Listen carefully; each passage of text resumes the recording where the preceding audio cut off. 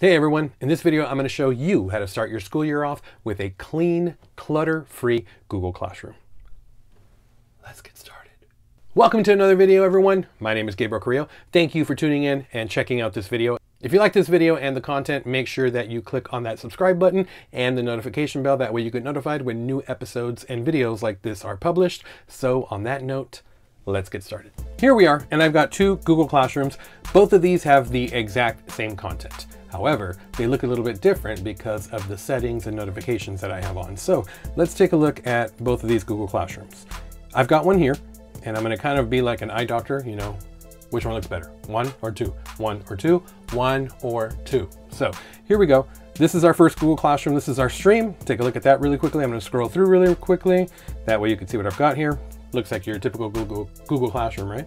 Now let's go to the second Google Classroom. So there's our second Google Classroom. Looks a little bit different, okay? Let's go to the classwork section of each one of these. I'm gonna go back to Google Classroom number one. We'll call this one Google Classroom number one. Let's go back to the classwork section and you can see here I've got my three assignments. Let's go to Google Classroom number two to the classwork section and you'll notice that I still have three assignments. However, it looks a little bit different. Why is that? You guessed it, ladies and gentlemen, I have topics for this one. Now let's also go back to the original Google Classroom, number one, back to the stream really quickly, and you'll notice, one more time, let's try this one more time. One or two, one or two, one or two. What did you notice about the stream?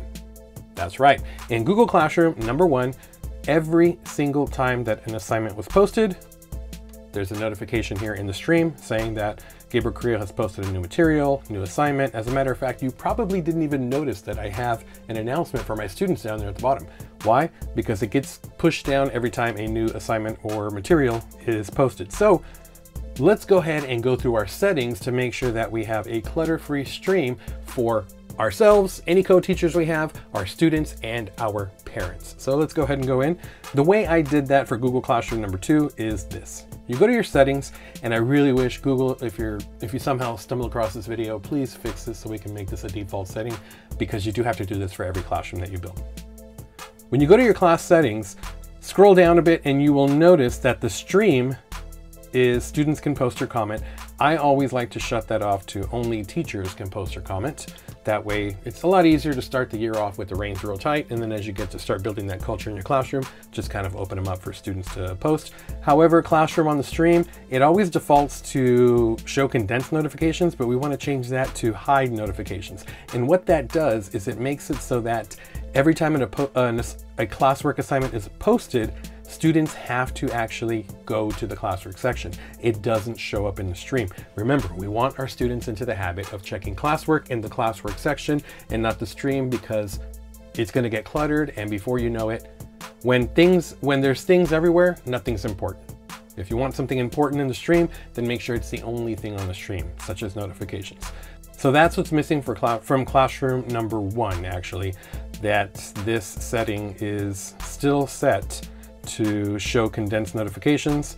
And if I click hide notifications, you'll notice that that automatically gets cleaned up. And now all we have here is our notification to our students. So now the second thing that you might have noticed as well is that in Google Classroom number one, there are no topics, just kind of like a dumping ground for assignments.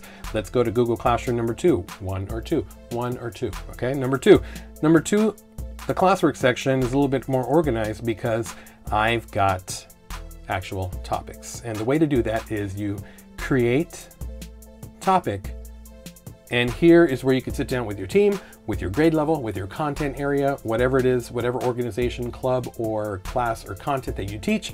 And here's where you can you guys can start thinking about how you are going to plan your year out.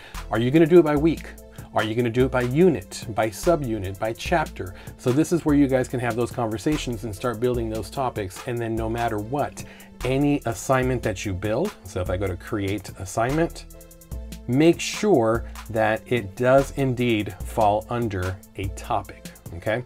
So that is a two quick tips on how to organize your Google Classroom. Number one, make sure that you hide notifications on the stream. That way the only thing that gets posted there are actual announcements.